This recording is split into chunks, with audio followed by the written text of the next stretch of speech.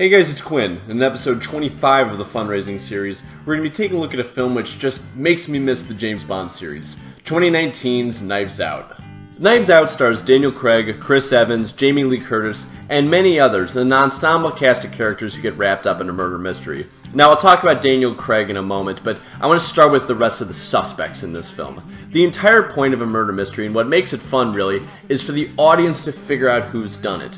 If you have one weak link, acting wise, then I think it all sort of falls flat in its face because it becomes too obvious where the film's going.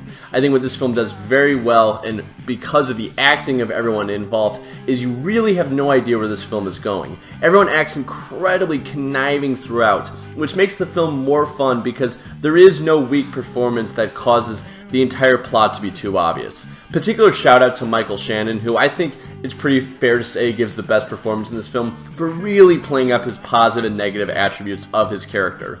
Although I think all the suspects were great, I do think Daniel Craig is sort of the odd man out in this film.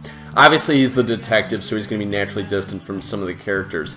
I do want to be upfront, you know, this is a James Bond channel, so I've given many thoughts on Daniel Craig in the past, and what I think about Daniel Craig as an actor is I think it takes him a little bit of time to get comfortable in his roles before the ball really starts rolling. I don't think this film is too much of an exception, and I do have to say I actually liked him for most of this film. The one thing that drove me nuts, and I think this is pretty unanimous for people that have seen this film, is the accent was a little too forced, which really annoyed me and took me out of the film at some points. I think the storytelling aspect of this film, though, was fantastic. There is a balancing act that murder mysteries have to do. You can either reveal too little and therefore the audience just can't follow the logic of what's going on, or if you reveal too much, you kind of give away the plot there's no fun to it. That's the biggest sort of tension in murder mysteries that I've at least seen recently, and I think Knives Out really nails it by hitting it in the middle.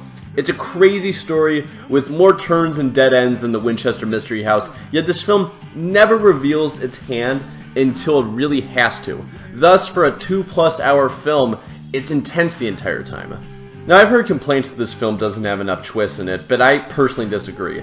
It's a murder mystery, so if there's like 20 red herrings, I think it would become unrealistic, which is why this film deserves a lot of credit. For it's such a dense plot with so many intriguing characters, yet I never found myself really calling BS to what was going on.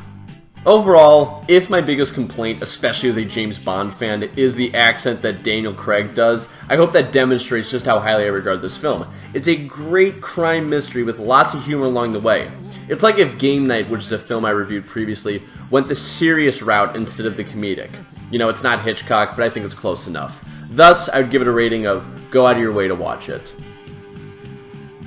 This video is sponsored by a resident of Southern California. This channel is committed to giving every American an equal opportunity in this country, which is why all proceeds will be donated to the NAACP Legal Defense Fund.